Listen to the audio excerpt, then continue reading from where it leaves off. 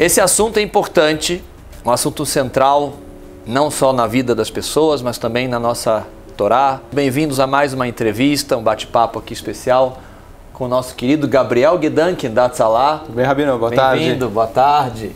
E eu aqui estou até um pouco emocionado tá, com a presença do Gabriel. O Gabriel é diretor de marketing da Tzalá. Gabriel, desde quando a Tzalá atua no Brasil? Bem, Rabino, primeiro obrigado pela oportunidade de estar aqui com vocês Sim. hoje, de poder divulgar um pouquinho do nosso trabalho. A Tzalá está no Brasil faz 12 anos. É, na verdade, é uma entidade mundial, a Tzalá, e a ideia de vir para o Brasil começou há 12 anos atrás e hoje a gente já está com mais de 40 voluntários aqui, atendendo Uau. vários bairros, desde, desde o Bom Retiro até o Morumbi a gente está chegando. A ideia é realmente poder salvar a vida de um Yodi, que para a gente é, é o que paga a nossa conta. Uau! E são 40 voluntários? 40 voluntários, a gente tem uma equipe de enfermeiros profissionais que trabalham com a gente, equipe de médico, é, tem três ambulâncias, sendo que uma delas é uma ambulância UTI. Graças a Deus hoje a gente consegue, numa chamada, por exemplo, aqui em Genópolis, em 4, 5 minutos já ter um voluntário.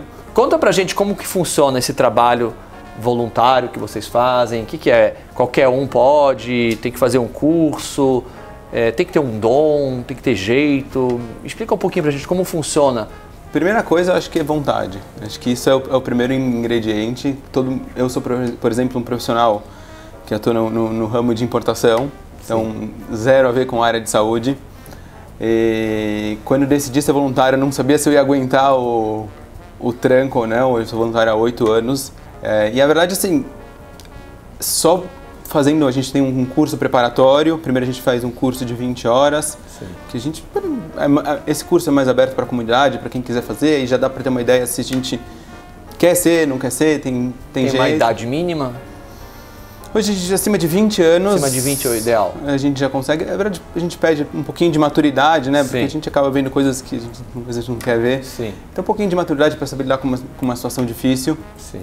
E aí depois, para realmente ser voluntário, a gente tem um curso de 60 horas, que a gente faz todo o preparativo para esse primeiro socorro até chegar no hospital, que essa é a ah. nossa função. Sim, mas quem faz o curso só de 20 horas? Ele é só para ter noções básicas para si básicas, próprio, para a família, alguma coisa assim, isso. é isso? E hoje, hoje, a gente, só abrindo parênteses aqui, a gente Sim. tem uma série de workshops que a gente vai dando para a comunidade. É, depois dá uma procurada lá no nosso Instagram. Sim. É, workshops abertos mesmo para a gente saber o que fazer antes da Tzalá chegar, ou o que fazer quando não tem a Tzalá no, no, no, lugar. Muito então, importante. esses workshops a gente está batendo muito na tecla deles, porque é importante todo mundo fazer, porque, na verdade, o pré-Atzalá é tão importante quanto quando a Atzalá está lá. Então, Sim. saber identificar uma situação de emergência, saber reagir numa situação é, um, um, pouco mais difícil, até a Atzalá chegar, isso sim, realmente sim. garante uma salvar uma vida é, por esse primeiro passo até a Atzalá chegar. E aí depois desse curso de 20 horas, que, quem quiser ser realmente voluntário oficialmente tem que fazer outro curso de 60 horas. 60 horas. E aí esse curso aí realmente já é bem mais aprofundado. Ele engloba tudo que tem desde a da hora que a pessoa se sente mal ou tem emergência até o transporte dele para o hospital. Quer dizer, toda essa primeira parte do, do, do primeiros socorros. Isso é para homens e mulheres? Ou só para homens? Só Hoje homens? aqui no Brasil a gente tem voluntários só homens. Só homens. Uma orientação rabínica Sim. e existe uma questão de segurança também. Sim. À noite, sozinho. Então hoje Entendi. em dia. Gente... Os horários que tem as chamadas é. e na rua. Gabriel, sobre os recentes acontecimentos no litoral norte de São Paulo, tá? É, como que foi o trabalho da Tzalá? A Tzalá teve, foi acionada? Vocês fizeram alguma coisa? Porque foi uma situação caótica. Né? Realmente né? foi uma situação muito difícil. E aqui não só a Tzalá, mas teve um engajamento comunitário muito grande. Para a gente foi uma situação que a gente aprendeu muito, que a Tzalá, em conjunto com o DSC, que é da Federação, que é o órgão de segurança, da, de segurança comunitária da Federação, com o SCAP, que também tem a ver com reações a emergências, se reuniram e em um dia conseguiram organizar é, helicópteros decolando com mantimentos, com, é, com coisas de higiene básica, tudo que estava faltando lá no litoral. Então, assim, é, a situação aconteceu de, de sábado para domingo, domingo o pessoal no litoral estava em comunicar, e aqui em São Paulo a gente começou já, já se acionar, a acionar um, um, uma, uma equipe falando com a outra. Na segunda-feira de manhã já tinha um helicóptero saindo com mantimentos para lá e na volta Incrível. trazendo é, trazendo idosos que até lá não se sabia quanto tempo ia ficar no litoral, quanto tempo ia ficar preso. Então, foi realmente um trabalho comunitário não só da Tsalá, mas de todos esses órgãos trabalhando em conjunto. Acho que isso é a, a beleza do trabalho Sim. voluntário, né? Cada voluntário com o que sabe, se organizando. E aí, quando a gente voltou com a comunicação no litoral, a gente tinha voluntários no litoral presos lá, que também se organizaram para receber tudo isso, para organizar os idosos. Então, realmente, assim, é, o aprendizado comunitário aqui, a, essa, essa sensação de, de, ser útil mesmo numa situação que parecia que não tinha nada para ser feito incrível. é incrível. E assim, realmente a comunidade não tem nem palavras para falar bom. o que, que a comunidade, não só pessoas organizaram, doadores e assim, Sim. por aí vai. É, quando você tem uma coisa organizada é diferente, né? Você está preparado, você está é, é, já premeditou tudo, então é, é totalmente diferente e realmente que é o principal salvar vidas, né? Que é o mais importante de tudo. Não pode ser não profissional, não menos do que isso, né?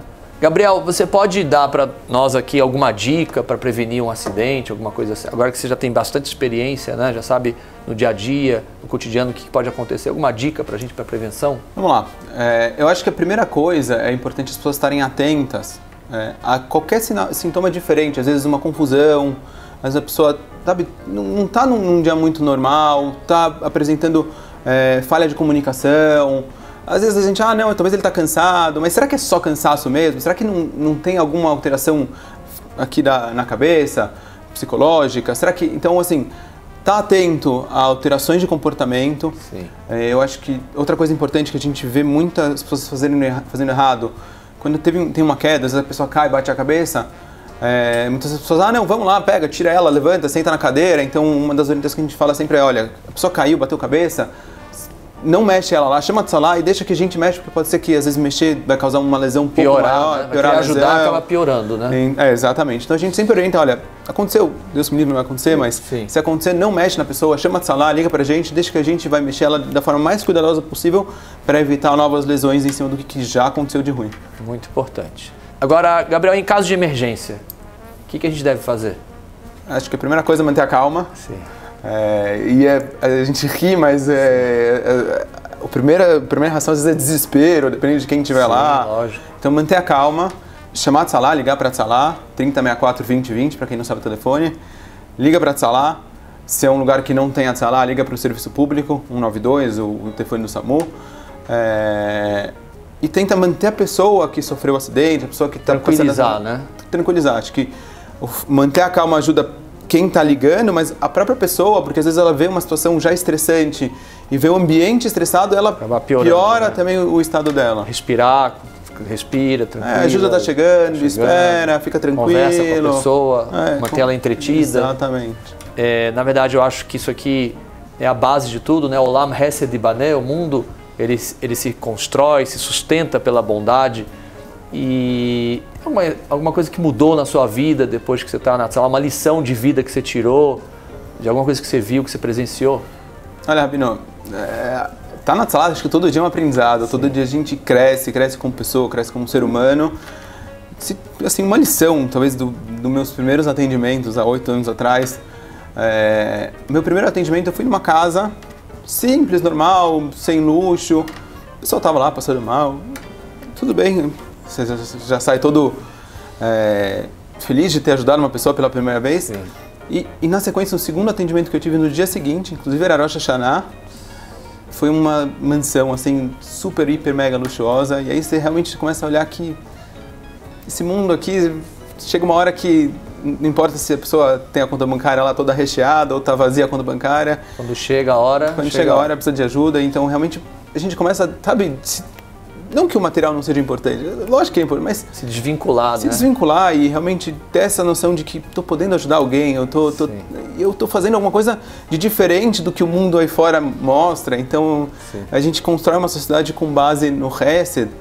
Se cada um pode doar um pouco do, do, do dele para o outro, e realmente a gente vê que essas coisas materiais são detalhes e a gente vai realmente para frente com, com essa ideia de, de, de, poder ajudar, de poder contribuir com uma comunidade melhor. E acho que se cada um tivesse ideia, essa cabeça, não só com a Salah, ou com qualquer outro serviço, de deixa eu tirar um pouco do meu egoísmo, do meu eu, Sim. deixa eu ajudar um pouco, deixa eu, sabe, dar um pouco do meu tempo, um pouco do, do meu Muito sono, bom. um pouco de qualquer coisa que eu tenha para ajudar o próximo.